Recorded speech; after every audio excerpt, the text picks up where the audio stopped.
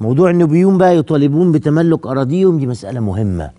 نرجو من المستشار اشرف العشماوي امين عام لجنة تنمية النوبة انه يبص في مشروع القانون كويس. كفاية ال- النوبيين شبعوا تحمل. يعني انت بقى إيه لما تضغط على واحد يعني انت ناوي تموته؟ مش ناوي. طيب ما تضغطش عليه بقى لا يموت.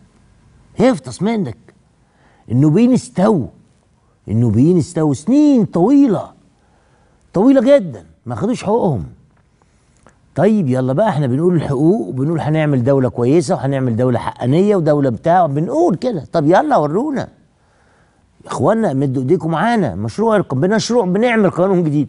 ما نديش تاني النوبيين حقهم. تاني هنقول لهم الأرض للإيجار وللانتفاع والكلام اللي ملوش لازمة ده. اديله أرضه بقى خليه يتملكها يا أخي. ده نوبي ودي أرضه. ما بتملكهاش ليه؟ ليه ما يتملكهاش؟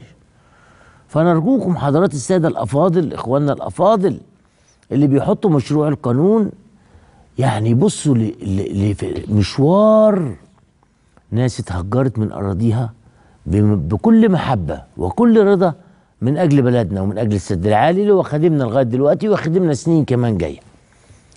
والشتم لما اتشتم لما قالوا يا كافة يا كيف شتموه لما يعني خلاص. ومع ذلك فضل السد العالي مشروع عظيم لأنه هو فعلا مشروع عظيم. فاللي بيشتم يشتم زي ما عايز مش مشكلة. فيعني نتمنى النوبيين من فضلكم. نرجوكم.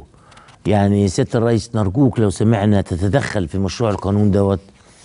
آه، آه، سياده رئيس الوزراء اللجنة المعمولة اللي هو بير- بيرأسها السيد رئيس الوزراء اللجنة التشريعية. نرجوكم. كفى النوبيون ارهاقا وظلما. كفاهم. خلاص والنبي. طيب معانا رئيس هيئة النقل العام. طيب النقل